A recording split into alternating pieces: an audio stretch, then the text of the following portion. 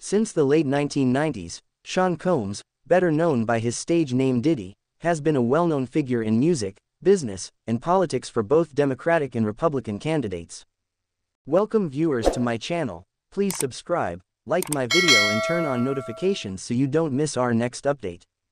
Be that as it may, as per government examiners, one of Hip Jump's greatest names utilized his notoriety to constrain ladies into disparaging sexual represents over 16 years bringing about three lawbreaker allegations of sex dealing and racketeering on Monday. Diddy has denied each and every charge. Brush's organization of high-profile lawmakers remembers A's who for public and nearby legislative issues, including official competitors, individuals from Congress and City Hall leaders. Beginning with previous President Donald Trump, who, similar to Diddy, was brought up in New York, was first openly connected to the rapper in 1998 when the land magnate was one of the great profile superstar participants at the artist's 29th birthday celebration party.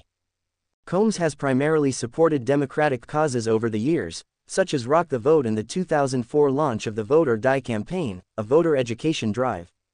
Individual leftists, including VP Kamala Harris, previous President Barack Obama, and New York City Chairman Eric Adams, have likewise encountered the music investor. With respect to Best, while recording the Superstar Student 5 out of 2012, the unscripted TV have told candidate Aubrey O'Day, who worked for the Hip Jump director, that Brushes was his companion.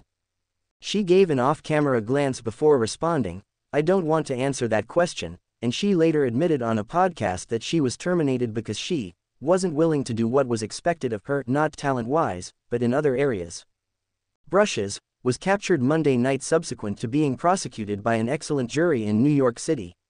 He is accused of smuggling sex with coercion, fraud, or force, racketeering, a 14-page indictment, which was released on Tuesday morning, and transportation to engage in prostitution, among other things.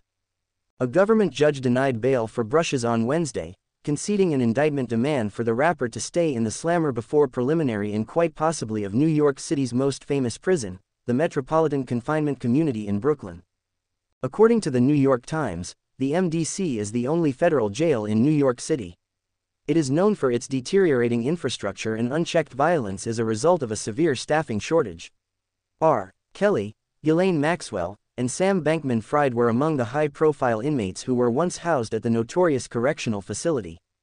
Brushes examined his companionship with Trump in 2015 as the conservative was as yet seen as an implausible applicant in the 2016 official race.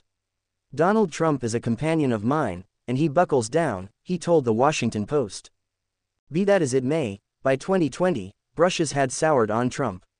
White men like Trump should be expelled.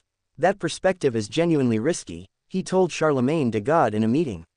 At the point when you take a gander at it, we don't have no way out. Express out loud whatever you need about Biden, I can't say I love the pick by the same token. However, we must get him in office, and afterward we must consider him responsible, brushes closed.